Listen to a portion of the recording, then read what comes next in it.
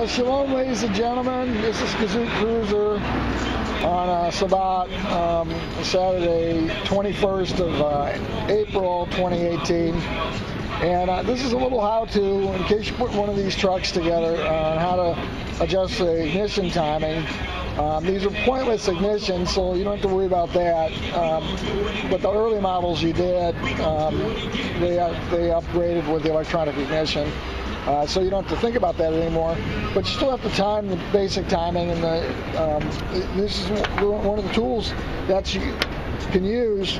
Uh, I'll show you where it goes. This is an offset. It's a 9 16 um, offset wrench, box end offset. And it's hard to find these someplace. You might, um, you might, have, you might have fun this is an antique, kind of like me. Uh, but what we're going to be doing this for, we're using this wrench. And this is just a preliminary video. I don't know if you can, let me set this down. There's a lot of traffic going past here, so you might have to listen to some, some cross chatter.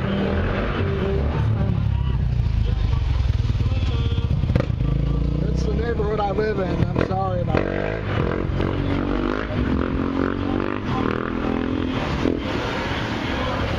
doing a wheelie down the street. Doesn't care. He's 15 years old or stupid or something.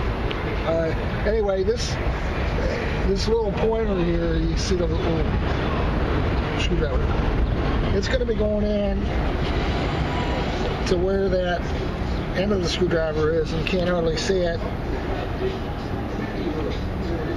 But the wrench goes in there,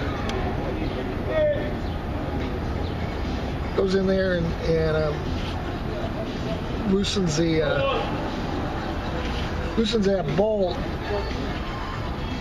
And you want to loosen that bolt while the engine's not running uh, because you you've got the fan over here and it's it's rotating and you don't want to catch your arms and belts and, uh, in, in things that are rotating and stuff. And you got to be very careful. There's nothing safe about an automotive engine. Um, people think that there's a lot of room to work on this one, but it's dangerous. This is like a tractor. And I'm just going to give you a how-to on how to adjust the timing on it. And that way it's an archive on YouTube for people that have these things and don't know the first thing about how to set them up. Um, that's the distributor, of course. Some of you know what that is. Uh, we're going to be rotating that uh, at the base once we loosen up that plate.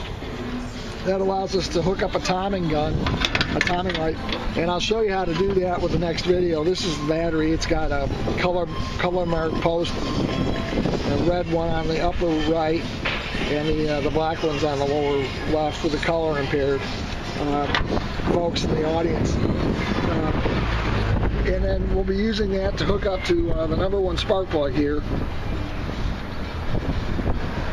And it's an it's an inductive timing light, so it'll it's it's supposed to work in both directions, but sometimes they're um, you have to reverse them on the on the wire to make them sure that they work and then the, the timing mark is is down. Well, you can see the scale. The, I don't have it lined up, but that's okay. This is a static video. It's just setting up for the timing. Um, but there's a there's a gauge down there to the left. You can see this circle. Um, the circle, and they used to install. You could put a probe down there, some kind of way to to to capture the uh, top dead center because it's a slot in the uh, it's actually been cut into the pulley and it comes up and it matches a mark on that scale and uh, I'll be showing you how to adjust that up and one nice thing about using a, a, a vacuum advanced timing like like the one I have is that it allows you to test the various vacuum functions uh, and centrifugal advances within the distributor itself. And so it's a wonderful test diagnostic tool. Uh, if you don't know about the difference between them, uh, you'll just tune into part two of this video and hopefully um, we'll learn something about this stuff that's real valuable. Thanks uh, for watching. This is Kazoo Cruiser and I'm out.